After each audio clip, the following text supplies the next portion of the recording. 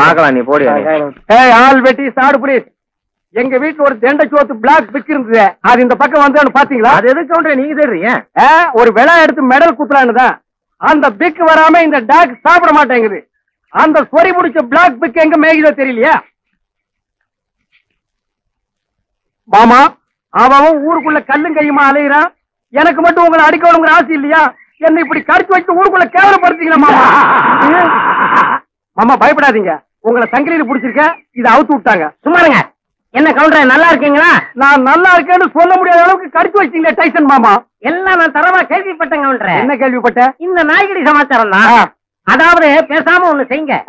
ஏழு வீட்டுல பிச்சை எடுத்து சாப்பிட்டீங்கன்னா சரியா போயிடும். ஏண்டா? என்ன என்ன பிச்சைக்கார நாயின்னு நினைச்சிட்டியாடா? தப்பா நினைச்சுக்காதீங்க. உப்பு இல்லாத சொத்தை ஏழு வீட்டுல பிச்சை எடுத்து சாப்பிட்டீங்கன்னா எப்பேற்பட்ட நாய்கடியா இருந்தாலும் பட்டுன்னு முறிஞ்சு போயிடும். அப்படி போடு. நான் ஊடு ஊடா பிச்சை எடுத்தாலும் பரவாயில்ல. மாமனை இதுல மட்டும் சரியாகிட்டது அப்புறம் மாமா நீங்க சூப்பு தான் உங்க மகன் மாயாவிக்கு கருமாந்திரம் தான். என்ன கழுதையோட கிளம்பிட்டீங்க? ஏ குருட்டு நாயி. இது கழுதி இல்லடா நாயி. நான் நாய்கிட்ட தான் கேட்டேன்.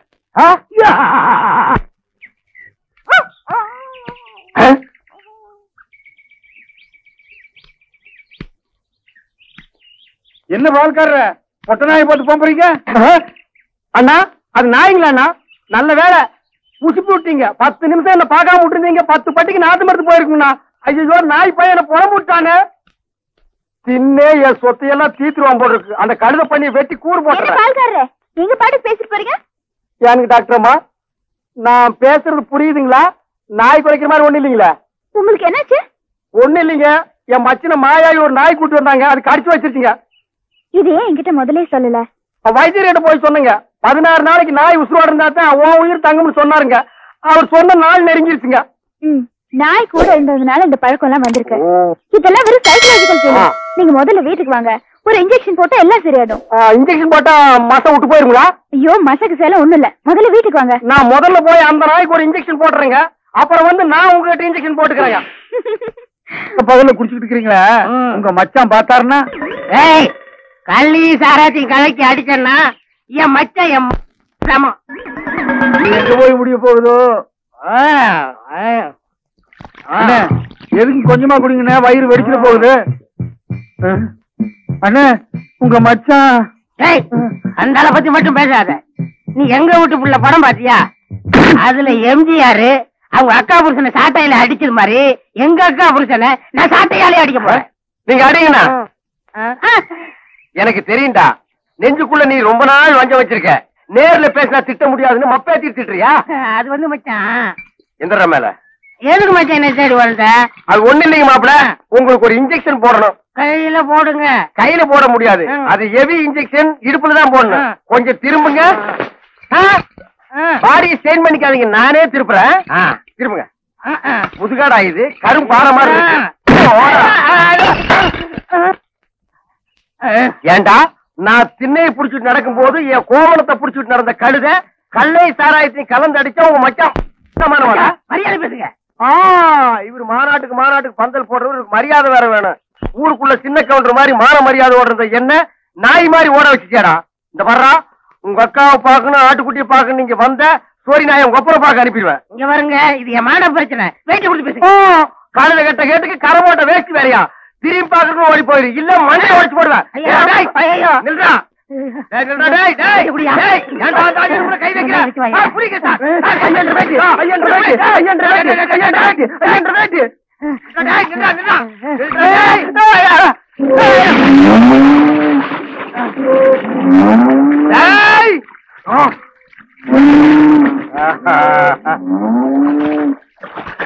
இனி அவன் வரமாட்டான் ஐயா அவன் இனத்தோட இனமா ஐக்கியமாயிட்டான். இனிமே அவன் மனுஷனா மாறதுக்கு வாய்ப்பே இல்ல. வாங்க போலாம். இந்தாடா அவன் ப்ராப்பர்ட்டி அட வா.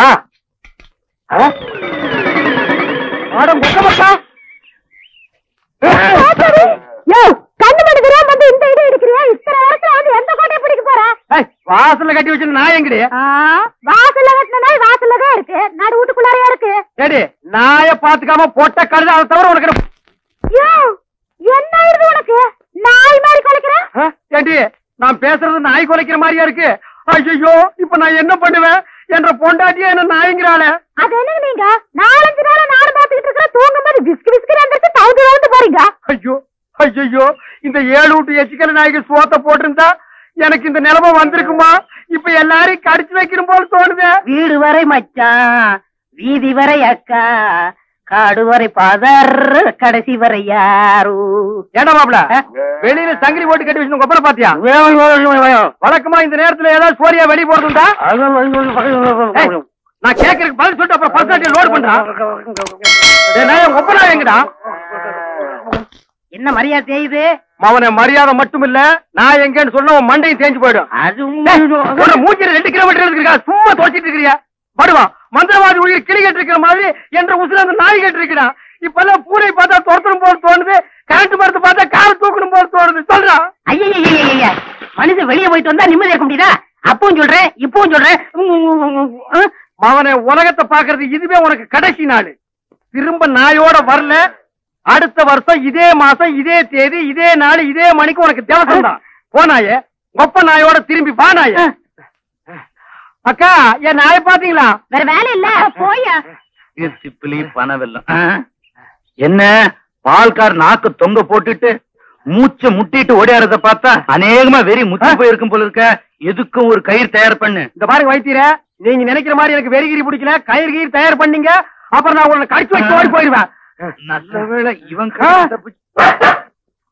மாமா சண்டைக்கு வர வேண்டாம் சமாதானமா போயிடுவோம் உங்களுக்கு என்ன மாமா நான் குறை வச்சேன்? வரும்போது காஞ்சி கருவாடு மாதிரி வந்தீங்க. இப்ப தின்னு உங்க மாமா மாயாவி மாதிரி ஆயிட்டீங்க. இன்னைக்கு ஒரு நாளைக்கு இருந்து அப்புறம் செத்து போயிருங்க மாமா. மாமா நாளை முதல்.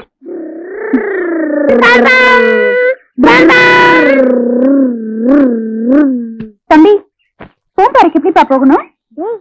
ரொம்ப சூப்பரா இருக்காங்கல்ல? ஆமாண்டா ஊருக்கு வழி கேட்டா சிரிக்கிறீங்களா? எப்படி போகணும்? கொஞ்சம் இருங்க வரேன். நல்லா பாத்துக்கங்க. இங்க இருந்து நேரா போனா ஒரு தோப்பு வரும். அங்க இருந்து தோப்பு கை பக்கம் திரும்பினா ஐயோ டேய் என்றது என்ன போச்சு? நம்ம பெரிய காண்டு தோட்டத்துல நீ ஆரம்பி. சரி. அந்த தோட்டத்துல இருந்து கலக்கா போனா ஒரு கோயில் வரும். அங்க இருந்து மேற்கே போனா ஒரு ஊர் வரும். அதுதான் பூம்பாறை. டேய் ட்ரவுசர் போடல அக்கா அவன் ட்ரவுசர் போட்டா வெக்கப்படுவான். ரைட்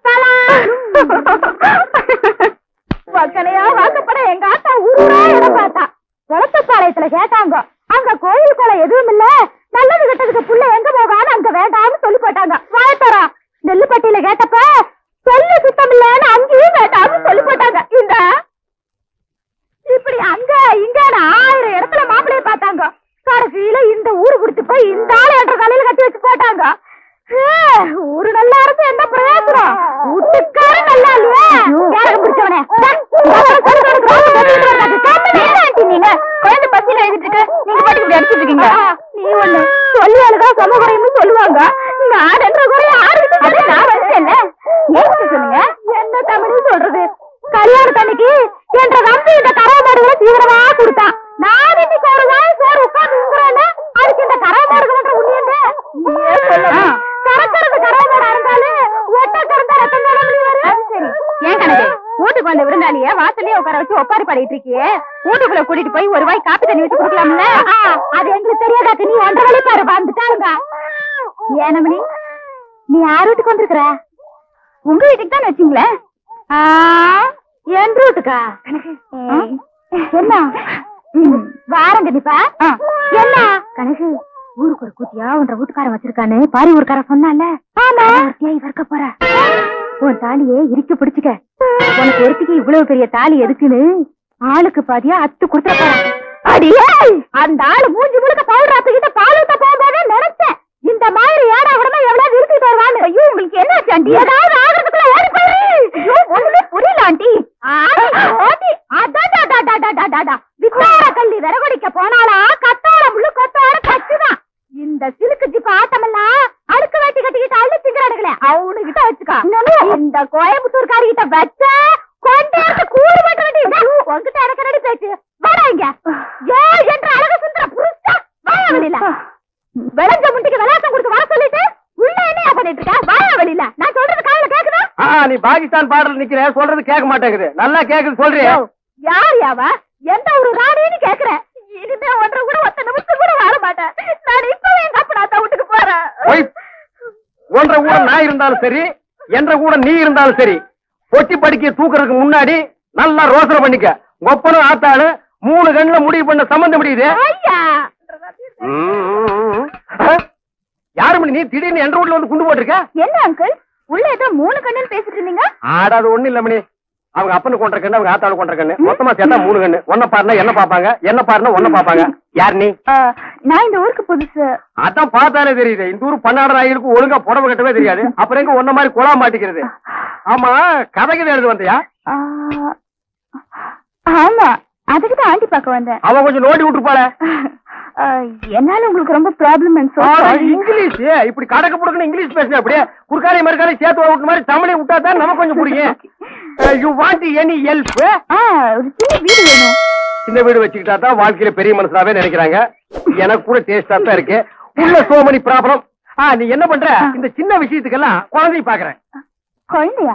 நீங்க நினைக்க மாதிரி ஸ்மால் குழந்தை இல்ல. பிக் குழந்தை. டுவெண்ட்டி ஃபைவ் இயர்ஸ் இப்ப அவர் எங்க இருப்பாரு? இப்படியே சோத்து கை பக்கம் போறீங்கன்னா ஒரு பாட்டு சத்தம் வரும். அந்த பாட்டை புடிச்சிட்டே போறீங்கன்னா அவனை நீங்க புடிச்சிடலாம். பாட்டு? அவன் பாடுறதா பாட்டு.